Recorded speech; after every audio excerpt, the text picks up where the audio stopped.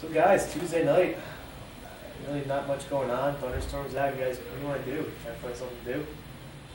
I don't know. What do y'all want to do? We can check out a movie. Could do a movie. I don't really know if there's anything good playing on though. Could go bowling. There we Cool go. people go bowling. I guess. Yeah. Yeah. Probably not though. Parties. No. Not that I've heard of.